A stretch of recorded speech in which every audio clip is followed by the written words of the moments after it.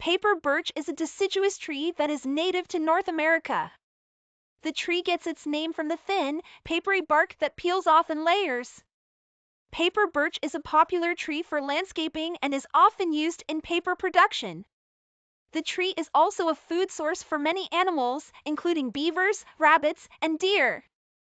For more pictures and information, visit the link in the description.